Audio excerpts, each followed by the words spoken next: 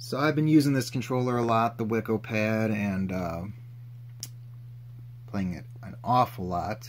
And between that, texting all the time, and doing yard work, the joint on my thumb here has been getting tired, so I keep looking over at my Atari 5200 controller, which I have hooked to this for the keypad and start buttons. Um, but I could never use it for my games because the the buttons don't work, the trigger buttons don't work. I would take it apart to keep to keep cleaning it to keep the keypad and these buttons working has to be open quite frequently. But um I just never bothered with those buttons because they're hard to get to. But recently found out well I just I experimented and figured out that with a flathead screwdriver you could pop this button out just enough to clean behind it. Both of them and uh, voila, I got it working. I have a fully functional Atari 5200 pad now. So, um, which is great. So now I've been trying it on different games.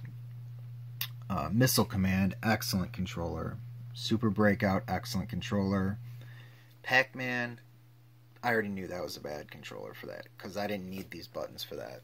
So I, I had already tested and was like, ugh, not not good controller.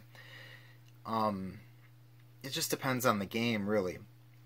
Most games you're going to want a quick, snappy self-centering, so the Wico is going to be the one to use. But certain games really don't, you do not want that self-centering. That's why the Wico actually has switches on the bottom here. And then, voila, it just stays where you place it, you know. Which is exactly what you want for like a game like Missile Command. But anyway, yeah, it's just nice. This left thumb can completely rest. And uh, trigger finger and right hand for the stick. So it's really just perfect. Perfect for the games that work perfect with it. Which is probably less than half of them, but hey. I really like it for what it is.